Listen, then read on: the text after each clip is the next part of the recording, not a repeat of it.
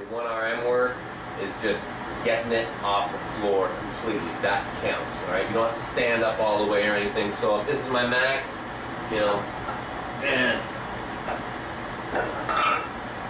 that would count right there, you know, because both ends got up off. That would count as my 1RM. I'd be able to log it. You can also do like most important day, okay, my 1RM day. So I'm just gonna do it one time, and that's it. So I'll tack the weight on there, right? And I'll tack the weight and tack the weight until until I can no longer budget. It counts. It counts if it just that much. Yep. Mission accomplished. Okay. Okay. That's for the one RM. Yeah. Yeah. And that's the most important day. Okay. You know, even if like it's going down, but you still manage to get it off, it counts. It's good. Yep. You know.